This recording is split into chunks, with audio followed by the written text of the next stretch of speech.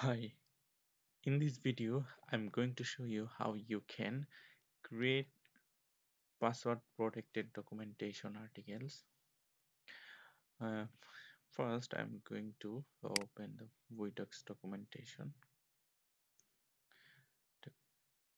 Here is my document documentation list. Hmm. I'm opening this article.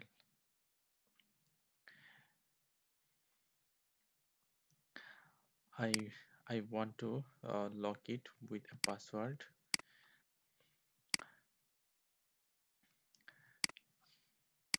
Viewer can only read this article with entering a password. Okay.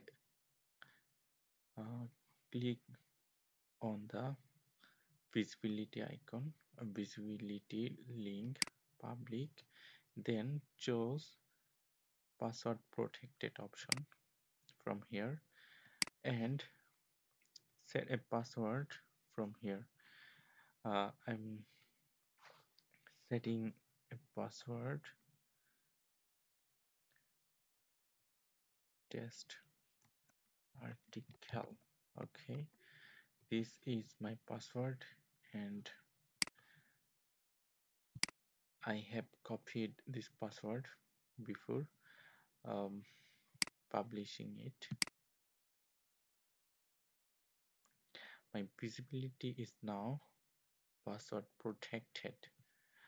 Um, now I need to check this article uh, on logout mode. I'm checking it in the incognito window from here.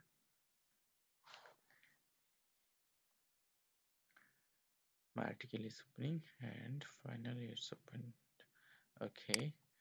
Uh, um, here showing that uh, my article is protected with a password and I'm seeing here a password enter field I need to input here uh, the password. Okay I just inserted the password. And now the article is read readable.